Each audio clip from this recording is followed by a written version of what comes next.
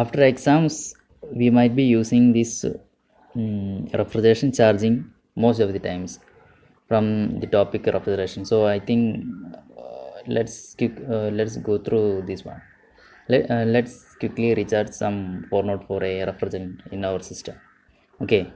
So uh, first of all we need to collect all the refrigerant in our condenser. So what we will do?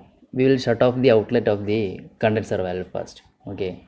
Now we close the outlet of the condenser. The compressor will cut off in lp if we close the outlet of the condenser then the compressor will cut off in lp now let's go to the bottle section.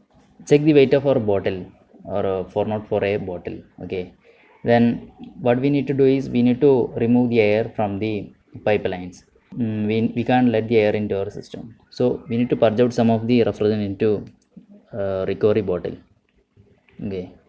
Um, since uh, okay. We need to purge out till we see some frosting on the valves. Uh, in the purge, purge out recovery bottle valves the, till that time we can uh, so if we- if we uh, if we saw that frosting then that means uh, there is there is no air. So we can confirm. After that we need to let that refrigerant in our system. So open the filling connection near the dryer. Okay. Now the refrigeration start flowing into the system. Now the pressure in the suction pressure side goes up or the suction pressure increases so what happens?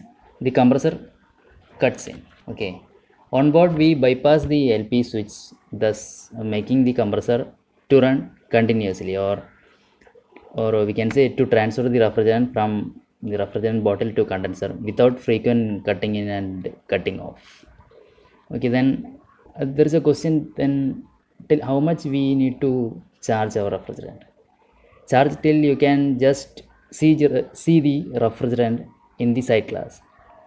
Because because we charge if we charge more refrigerant in the condenser that means there is only lesser surface area available for cooling. Let me repeat that again. If if your condenser is filled with refrigerant then there is less space available for cooling. Thus the compressor has to compress the refrigerant even more to condense the refrigerant okay now normally liquid charging is done in a large plant because it only takes small amount of time comparatively. We will only do gas charging for uh, precise quantities like we do in refrigerators at home and in our cars.